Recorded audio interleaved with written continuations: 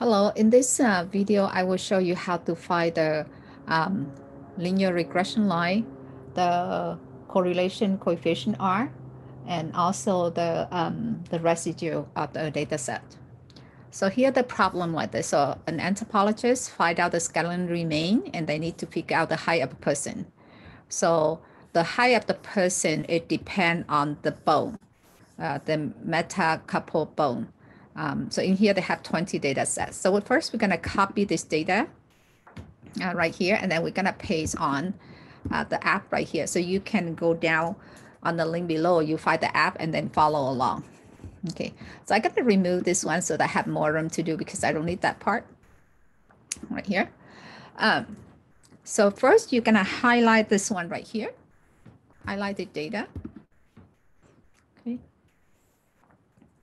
Yes. And then you're going to um, select from this menu right here to two, two variable regression analysis. Then it's going to have all this one for you, the scatter plots spot right here, um, uh, scatter plots right here. You see that part. Uh, so for example, the 46, 175. Uh, so I have here 46, the value right here, 175. So you see and so on, you can see the whole thing right here. Yeah. And you also can find the linear regression uh, line by click on this part here, do linear, then you have a line right here. And they also give you the equation, this part here. And you like to see what the correlation uh, coefficient for this one are. Is it like it almost closer to the line, right? But very hard to get the value. So the GeoGebra calculated for you. So the point would be 0.85. You round it would be 0.86 or something. Um, you route two decimal place. So you have that part right there.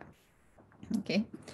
Now, um, the next one is um, you want to find the value. Uh, so the equation right here, right? So if you do the equation, uh, this one that have the scatter plots right here, you can do one of them from there.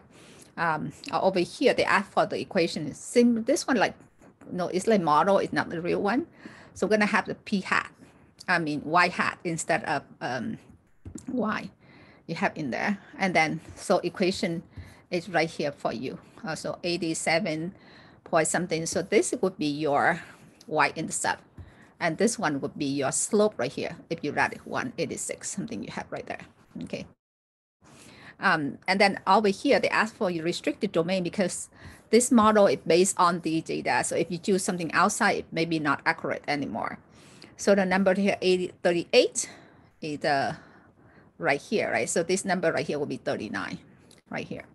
The smallest value you can have over here, 39, and the biggest value you can have it will be 51.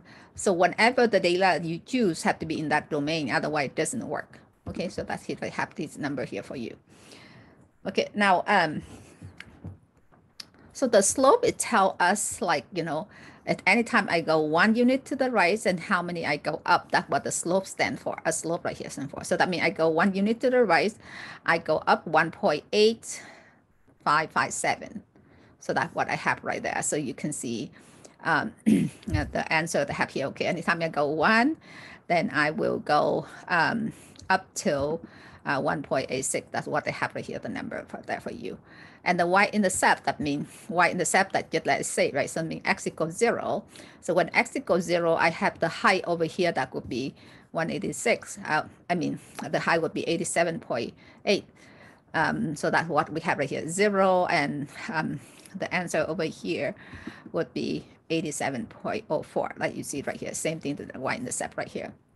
But this one doesn't make sense because if you have the remain is zero, the bone remain is zero, uh, that means that person did not exist, right? So how do you have the high uh, one point something? And another thing here, the number had to be in between the uh, restricted domain that you have in there. So therefore, this answer doesn't make sense.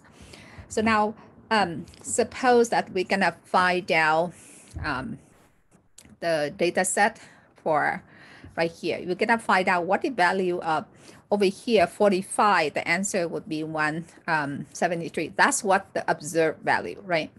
Okay, but use this model right here. So let's see, what do I get for that part? So I would have over here, that would be um, 45, enter in here, and then I enter. Let me try it one more time. 45, enter. Then you have the value is 1.70 something. However, over here, the 45, 1.70 something, right? So therefore, that the difference between this value and um, the um, the the model value, that would be your residual. So if you subtract those two values, then you will have the answer right here. So you have 173 and subtract the model. So you see right here, uh, I have 45 is right here, right? So my point is above the line. So that's why I have positive here. Uh, so if I have below the line like this one over here, like 47, so I can have negative. So that's what I have there. Uh, so you subtract 1.72, 73, and you subtract 1.70.54, and then you will have the answer right here. Now you can visualize by graph the residue. That means uh, they graph you all the point that how far from the, the red line over there. That would be that part, right? So you can do like this. You click on this one here, click on residual plus. So here you go. So you have here 145. This like um, two point something unit over there. So from here five, this one two point something. Um, so that's how you looking for the residue in the uh, plot. Okay.